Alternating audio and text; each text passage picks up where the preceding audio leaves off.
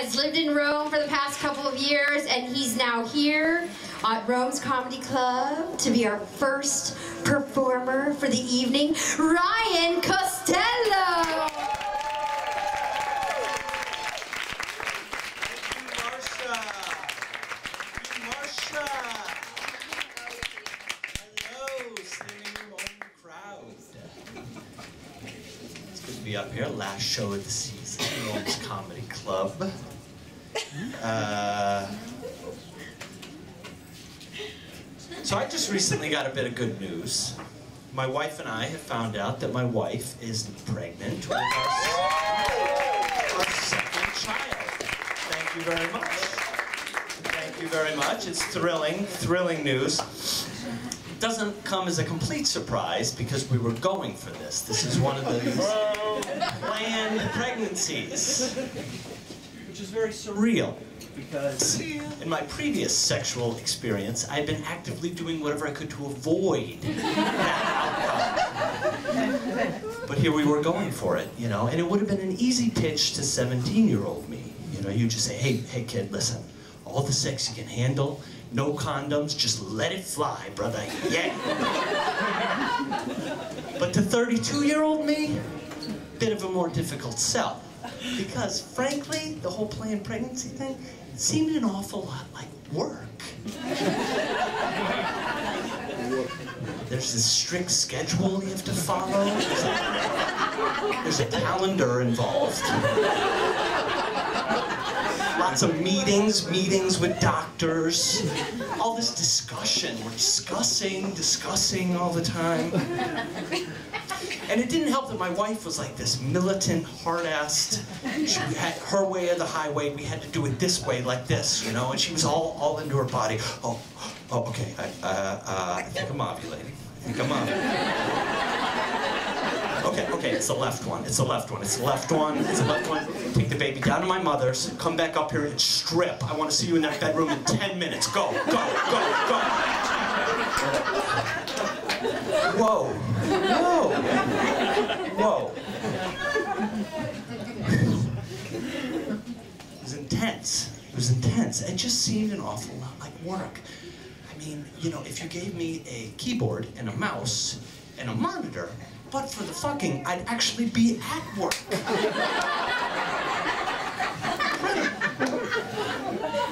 Just so weird. Just so weird, you know? But of course, we're thrilled, we're happy, it's great. We're blessed and all that jazz, you know.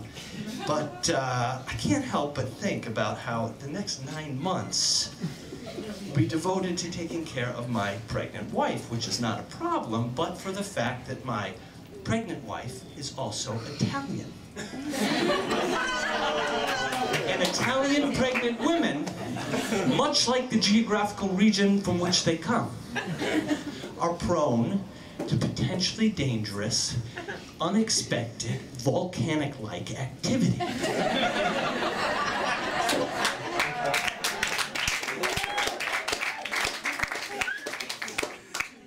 Is she here tonight? She's not here tonight, thank God. Most of the time, my wife is dormant, though. Don't get me wrong. She's dormant. Okay? Life is good. It's easy. It's easy, but then without warning, without any notice, she just erupts. Ryan!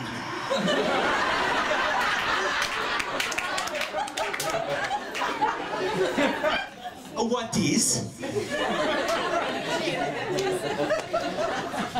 Well, uh, Amore, uh, from, from this point of view, I don't see anything at the moment. Uh, this here, this here, this wet, what is? You mean those couple drops of water there? Yes, the couple drops of... Why don't you ever help me clean? Why don't you do anything around our house? You were never like this in America. Why do you life here? So now, ladies and gentlemen, I find I, I have a mop. I have a mop. I'm mopping what to me, moments ago, was a perfectly clean and dry kitchen floor. But this is what having a pregnant wife is like, you know? It's amazing though what happens to the female body during pregnancy. It's beautiful. It's incredible. It's incredible. All the senses get heightened, almost superhuman level. My wife has like superhuman smell. She'll be like, "Wow, I really like that cologne you're wearing." I haven't. I'm not wearing cologne. I haven't worn cologne since last Saturday. She'll be like, "Would you have an egg? An egg? Did you eat an egg?" Uh, might have had a hard-boiled egg at lunch. Yeah, yeah. What is that? Coriander? No, no, no, no. It's paprika. Paprika. I can't remember what I had for lunch. My pregnant wife can sniff it out. But that's what it's, you know, this is a pregnant wife, this is how it goes, this is what you do, this is how you handle it. But uh, it is a bit more interesting this time because we already have a kid. We have a two-year-old in the mix. And two-year-olds can be very challenging. Pregnancy or no. Because two-year-olds, although they seem still like a little baby, you know, you have to do a lot of babyish type stuff with them, they're actually a little person. And they see and hear everything that goes on everything. And then they, they assimilate it and they work it into their own little kid life. Is this mic working? Okay. okay? He's, Hello. he's trying to fix the levels Oh, so you can be heard in the back and you're thank you, thank you for doing it during my bit.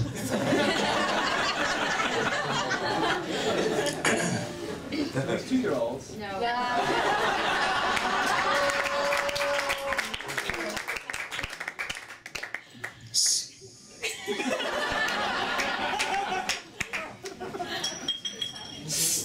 That's right. So these two-year-olds, How's that? how's this? In the back? Yes. Can I be your guinea pig? Can you hear me in the back? Can you hear me in the back? Yeah, good, good, good. You want to know about two-year-olds? They're challenging. Okay. They see and hear and everything. They assimilate it into their little kid lives. We're at the kitchen table the other day. My daughter's eating. Everything's okay. Everything's cool. And she just drops the plate onto the floor. Just pushes it onto the floor. And she goes, "Oh shit balls." "Shit balls." Shit and ball. I, I mean, presumably she's learned this from me. I'm the only one that speaks English with this kid, but I've never used this two-word combination before. And the worst part of it was, the worst part of it was, is that she speaks mostly Italian, so she said it with this Roman Italian accent. It wasn't shitballs, it was sheetballs. So, so weird. It's weird. But you know, there's many aspects of raising a two-year-old that can be that can be very existentially sort of harrowing. You know, you, you, take a take a stock, take stock of where your life is. You look at yourself, you know, oh my God. You know, especially now we're in the midst of the potty training. Okay, the potty training activity. And I'm not talking about wiping an ass, people. I can wipe an ass, right? My kids too. I've been wiping asses for two years. That's not a big deal. I'm talking about giving motivational speeches to feces. I'm standing over the toilet. My daughter's on the toilet, gripping my leg, and I'm going, "Okay, poopy. Okay, poopy, come out of there. You can do it. Come, come right out of there. No problem. Come, let's go for a swim. It's just a swim. The water's nice. You can go and join your other poopy family down in the pipes. Come on, come on." And you know, I don't know what's more frightening about that, the fact of what I said, or the fact that it came out so simply and easily and effortlessly. You know, who have I become? I'll tell you who I've become. I've become a, a father, a husband, a family man. You know, and it's wonderful, and I wouldn't trade it for anything. However, there are aspects of the single life of being a bachelor that from time to time I find that I miss.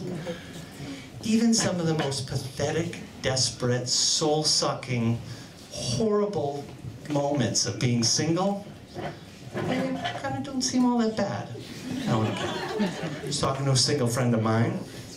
I said, hey man, what are you up to this weekend? He said, well, you know, I don't have any family, I don't have any kids, so probably be at home, I'll watch some Netflix, smoke a little pot, masturbate, you know. And I was like, I was like, dude, dude, dude, that sounds awesome. Thank y'all very much. See you next fall.